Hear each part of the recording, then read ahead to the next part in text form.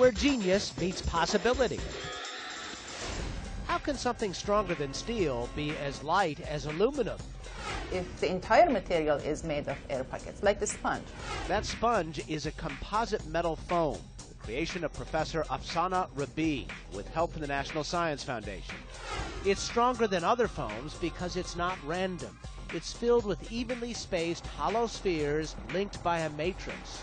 the strength of the material is increased because the spheres are bonded together. Rabiei has squeezed the metal foam as hard as you would a sponge, and it doesn't fail.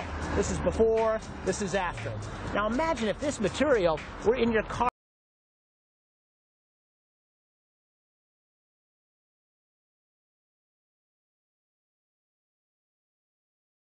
The proof is in the foam. I'm Miles O'Brien.